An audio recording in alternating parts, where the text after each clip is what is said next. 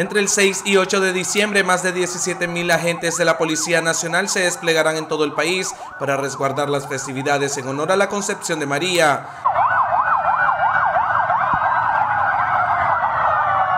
La mañana de este lunes, desde el complejo policial Ayac Delgado, se dio el banderiazo oficial al Plan María.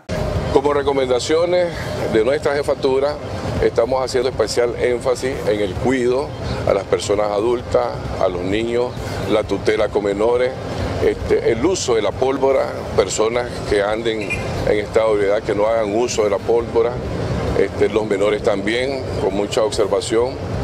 Eh, las personas que se movilizan y que están manejando, que no beban, que no tomen, que usen los cinturones de, seguridad, que usen los cascos, los motorizados, que no excedan los límites de velocidad, para que estas fiestas puedan ser ahorita en conmemoración a, a lo de la Virgen, pueda ser en paz, en tranquilidad y en seguridad. El plan contempla la cobertura en los 153 municipios del país. Participan todos los componentes de la institución policial para brindar seguridad a todas las familias en paradas de buses, mercados, barrios y avenidas principales. El componente de la brigada de tránsito, el componente de vigilancia y patrullaje, los componentes de regulación operativa en los colegios todavía que están prestando su servicio. Para Noticieros CDNN 23, Kevin Arrieta.